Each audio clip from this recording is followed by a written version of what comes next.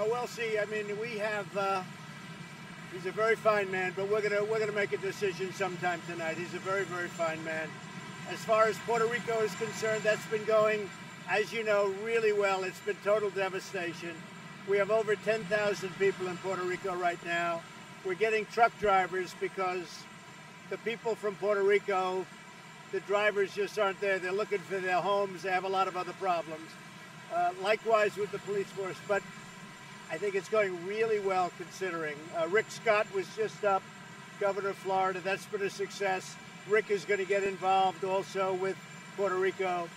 And uh, we've made tremendous strides. Very, very tough situation. And, and a big question is what happens? We have to rebuild. I mean, if you look at it, the electric's gone, the roads are gone, the telecommunications is gone, it's all gone. And the real question is what's going to happen later? It's a tough situation.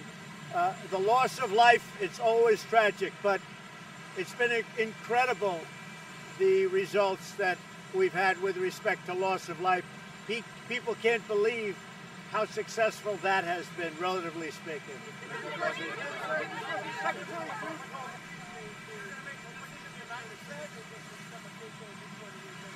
I can't hear you, John. Go ahead. What did you say about the criticism of some officials in Puerto Rico, including Mayor San Juan, have leveled at relating to saying what you said about it, good news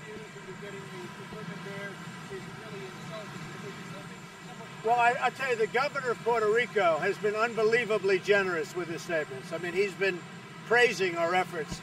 And this is a very difficult, this is a total devastation.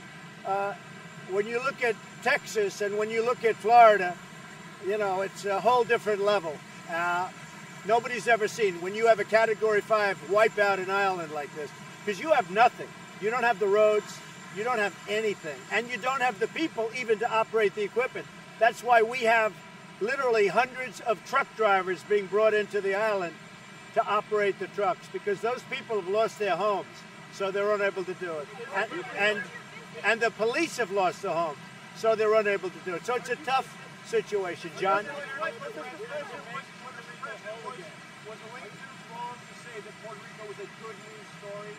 Well, I haven't heard what she said. I can tell you this. We have done an incredible job considering there's absolutely nothing to work with. And a very big question is what are we going to do with the power plant?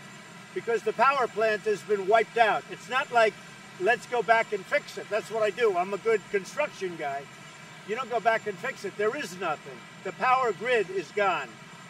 So we have a lot of big decisions, and you're talking about the dollars that you're talking about are really tremendous.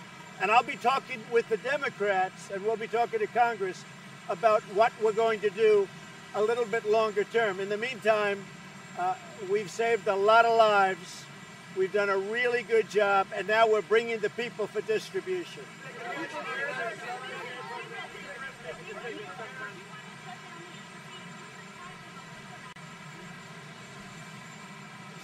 In Cuba? Well, you know the problem we've had in Cuba, and uh, we'll be coming out with something, but there was a big problem in Cuba, so we'll be announcing that fairly soon. Fairly soon.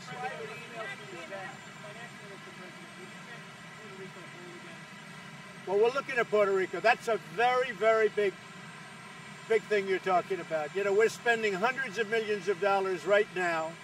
It's a territory, and these are great people. I know the people very well. These are great people. But, you know, there's a massive investment. You are rebuilding all of it at some point. Uh, as you know, there is, you know, hundreds of millions, there's a tremendous amount of money already invested in Puerto Rico by others before the storms. And that money has been in serious trouble. So now on top of it, a lot of other money. So a lot of, look, a decision has to be made. What are you going to do? Puerto Rico was flattened and a big decision comes as to what are we going to do. But I'm there to help. I can tell you that.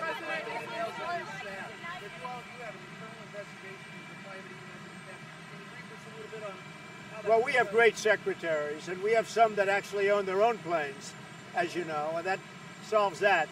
But we put it in order that no more planes. If you look at past administrations, for instance, if you look at the Obama administration and you take a look at the amount of time that they spent in the air. They spent a lot of time in the air. But I felt very badly because uh, Secretary Price is a good man. But we are looking into it, and we're looking into it very strongly.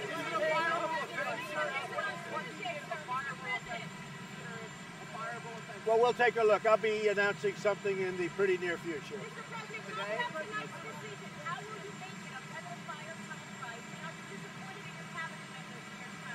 I have a great cabinet, and you know we save hundreds of millions of dollars through negotiation. I'll give you an example.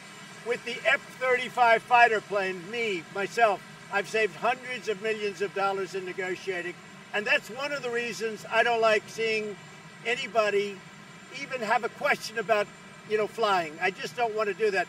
We're saving tremendous amounts of money no matter where we go. If you look at what we've done in Florida or Texas, we've done that for relatively little compared to what other people. So I don't like to see that happen. And I think it's a shame because as a human being, Tom Price is a very good man, I can tell you.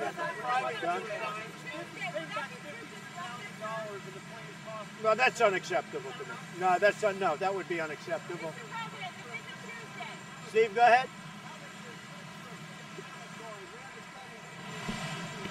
I've uh, had four meetings for Fed chairman, and I'll be making a decision over the next two or three weeks. What about the use of private emails from your staff? What? Where are you in the search for the new Homeland Security Secretary? Uh, we are, well, first of all, we've, you know, Brock has done a fantastic job at FEMA, and Elaine Duke uh, is acting and done, she's working very hard. And, uh, you know, I think what FEMA has done has been incredible between all of these hurricanes and doing so well. Uh, but we'll be making that decision probably within a month. Homeland, Homeland Security, yes. You said you spoke to Jerry Jones, owner of the Cowboys, and other owners. Well, I've spoken to other owners, and I really think it's coming together. I noticed last night, or I was told, I didn't see it, but I heard everybody stood for the national anthem, and that shows respect for our country, our flag, and for the national anthem. So, you know, I'm very happy. I heard that, and they should stand. You have to stand. It's our national anthem. You have to stand. What team owners did you talk to today? I spoke to numerous team owners. I have many friends. I did speak to Jerry, yes. Okay, thank you. Not a question of confidence. I was disappointed because I didn't like it, cosmetically or otherwise. Uh, I was disappointed. And you know, this is an administration that saves hundreds of millions of dollars on renegotiating things, on new trade deals that will be you'll be seeing the results very soon. We're renegotiating NAFTA. We're renegotiating so many different things and making much better deals. Uh, you'll be seeing other things come up. So I don't like to see somebody that perhaps there's the perception that it wasn't right. Well, I don't want to say, but we'll be announcing something today. We'll be announcing something today. I'm not aware of that. Yeah, I mean, I heard it was very ministerial, but I'm not aware of it. Anything else, John? Go ahead, Steve. He always he always treats me so nicely.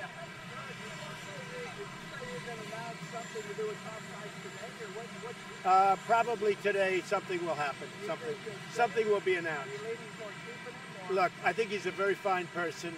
Uh, I certainly don't like like the optics.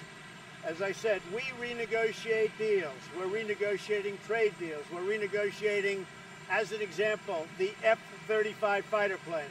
I've saved hundreds of millions of dollars.